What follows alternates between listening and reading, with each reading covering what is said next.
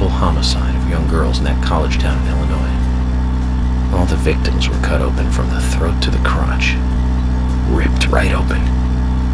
During the autopsy, a second stomach was found inside the first victim's body. Of course, she didn't naturally grow a second stomach. One of the stomachs belonged to someone else. As more victims piled up, there was one with two hearts, one with two livers, four lungs. Different organs each time. Of course, those extra organs didn't do the girls much good, right, Zach? And they say too much is never enough. In the end, we arrested a professor at the med school. They found the body of his daughter dead and the missing organs at his house. You remember what he said when we took him in?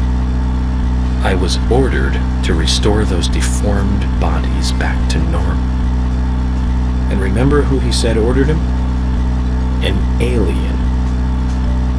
Well, of course, we couldn't arrest an alien, so we arrested the professor instead. Serial killers can't be caught by logic and common sense. I learned this the hard way. That first case taught me that. Since then, these cases just keep getting more and more complicated. It's a tough job. I thought getting experience while I was young would make the job easier.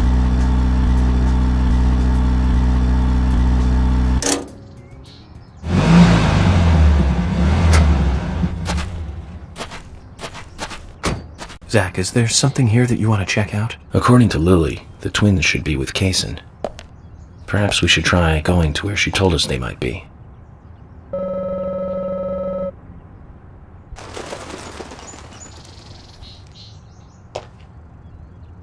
Hey, Sigourney.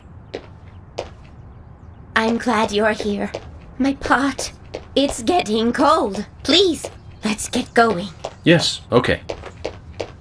I need to get to know the pot better first. That's right. Now hurry up. My pot is getting cold. Zach, this is all for getting to know the pot better.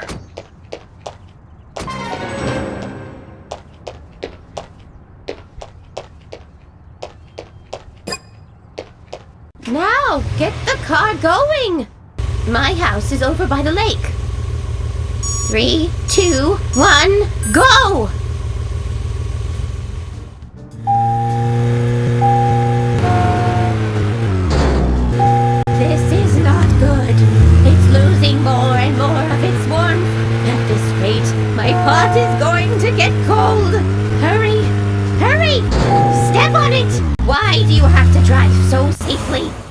Can't you see my pot is getting cold?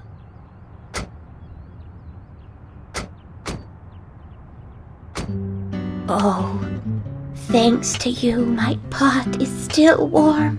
I did my best. So, does the pot have anything to say? Why don't you ask yourself? Well, do you hear it? No, I don't. I'm surprised. You're a lot more hard headed than I thought. I used to be a teacher, you know. That's when I realized the truth of the pot. Standing at the front of the class and looking at all those students, it's like looking into a pot full of different ingredients. A pot in a classroom. I don't get it. In fact, I think I'm getting farther away from understanding. Well, that's a shame. But don't give up. You're a person that can taste the different ingredients. Listen carefully. The best stew is one with plenty of different ingredients in it.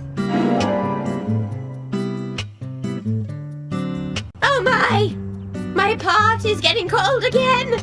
Did you have to talk so long? Oh!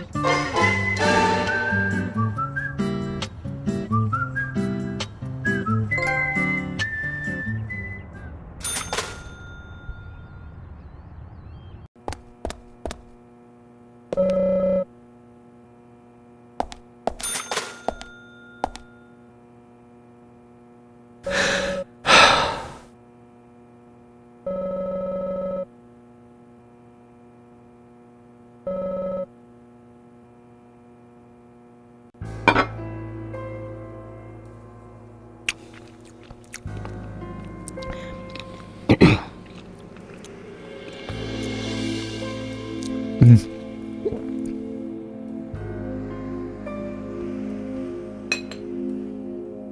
know, this doesn't taste good today. That's not true. Guys, Thomas made us a fine lunch as always. We should at least try to enjoy it. You're right. We, we shouldn't be moping around, even more so in times like these. I agree with Agent Morgan. Being so stressed out about our progress will only lead to mistakes. We should enjoy lunch. That's the very least we should do. As they say, the, uh, early bird catches the worm. Sh- sh- Sheriff? George, you probably mean laugh and grow fat.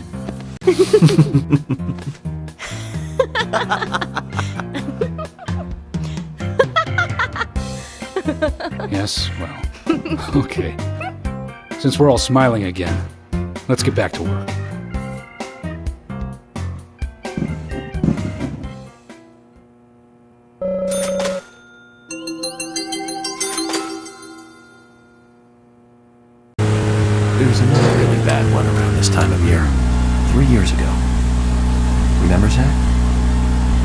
Yes, that's right. That one. Multiple homicide, same MO, across Utah, Colorado, and Missouri.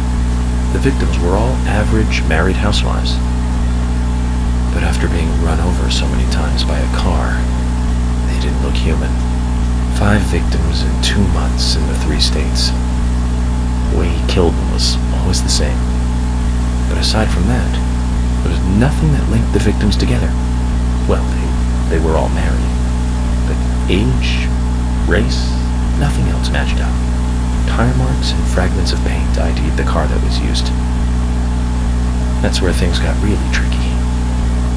The perpetrator used a 1993 model Cadillac Alante as a weapon. It was registered in the name of one Senator... No, I don't feel like talking about this anymore. That senator's basement. I wish I could forget what I saw there.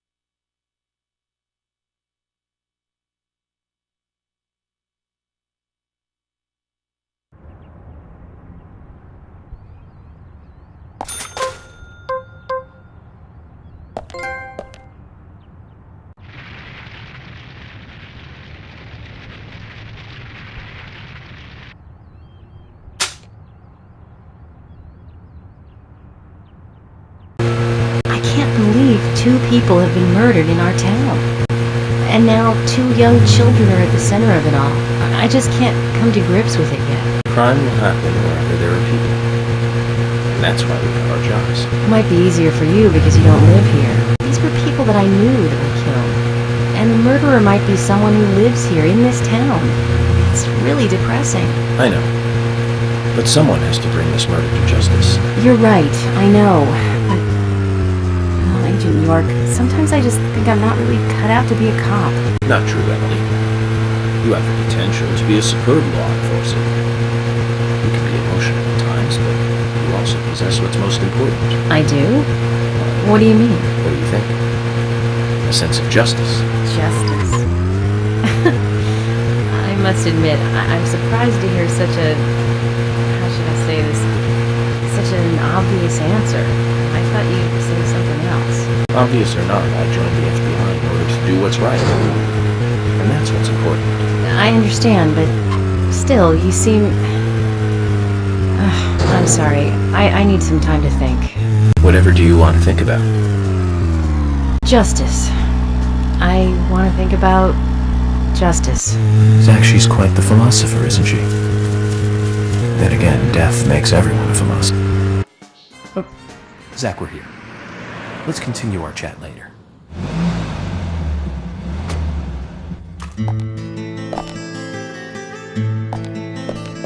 According to Lily, Isaac and Isaiah should be here. Then let's go and find them.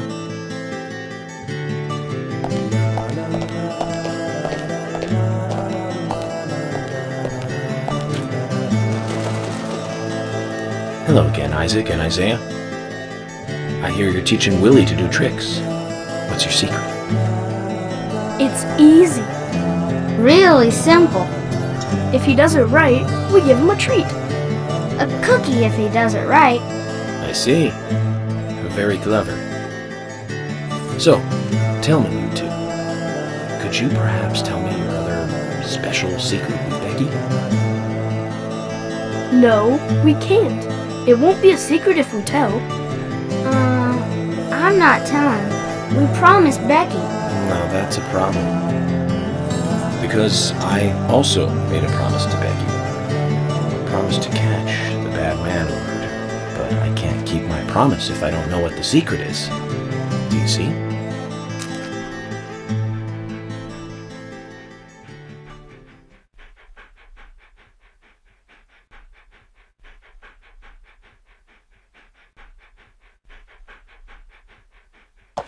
She told us to give Diane a box.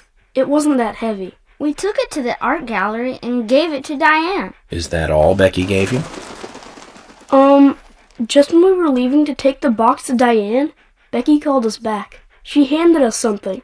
It was small and round. She told us to keep it safe in our pocket and give it to Diane.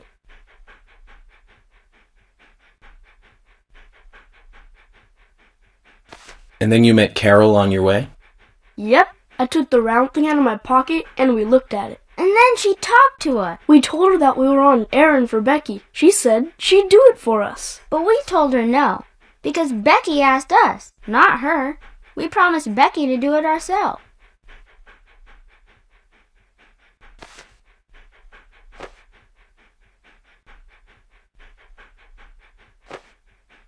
So Becky did entrust the locket to them. And now Carol has it. Right, Kaysen? Huh? You were in the room when Carol took the locket back from Diane. I saw you with Diane in the art gallery that day. Well, yeah, I, I, I, I was there in the room, but, but I was only uh, chatting with Diane. Oh, then Carol burst in, all angry looking. While Carol and Diane had their talk, oh, I, I just sat there like a frog. Yeah, so Carol took the locket from Diane, but that has nothing to do with me, right? Uh, yes, I believe so. But from this instant, you are now a key witness in this case. I'm afraid you can't leave town until you hear from me. What? Can you do that? This is all starting to sound a little like Alice in Wonderland. Which makes you Humpty Dumpty. Huh? huh? Isaac and Isaiah, thank you. I think I'll be able to keep my promise with Becky thanks to you two. How is Becky?